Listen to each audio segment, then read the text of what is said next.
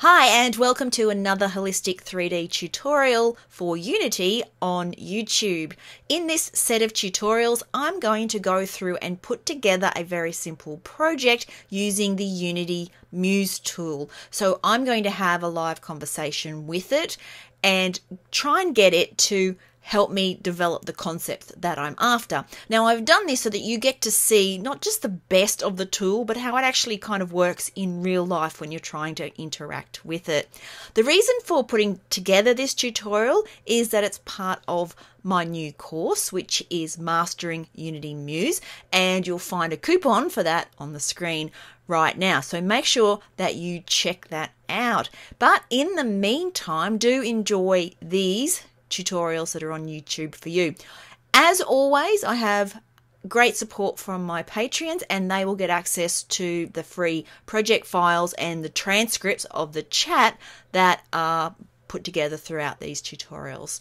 Okay, so enjoy. So, what I've done here is to produce this using Muse. So, we're going to go through how I did this.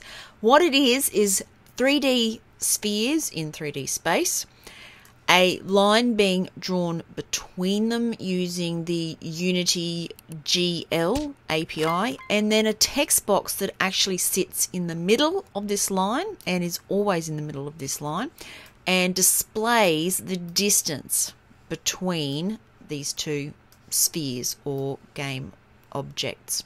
Now, what you'll see as we go through this chat this very long chat with Muse is that sometimes it gets very frustrating at what it's producing, and we kind of need to sort of scrub everything and start again because everything gets quite complicated. The other thing you'll find is that if you're trying to use Muse Chat or any GPT type generative chatting AI to help you code in an area that you're not familiar with, it's quite difficult, okay, uh, because you still need to be able to critically analyze the information that you're getting back from the AI in order to put it to work for you. And you'll see that in the next lot of videos as we go through where it kind of falls down and doesn't work, and when we have to sort of have a look at the code ourselves and think, oh, okay, well, that's not quite right, and you've got to fix this and that sort of thing.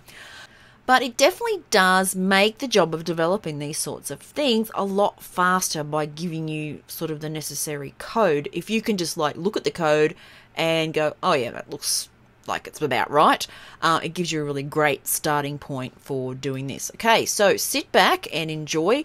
The whole reason I have done this section is pretty much an unedited section where I'm just showing you all of the trials and tribulations you have when you try and use this AI as part of your development process. It's not so perfect and shiny as you see in sort of other demo examples where things just work because they don't. So I've on purposely left this as quite a long format of this tutorial that does show you where things just don't work, and um, I've left all of that in. Now, this project that I have created and the script, the entire script that I go through in these tutorials is available as a resource at the end of this section attached to the last video.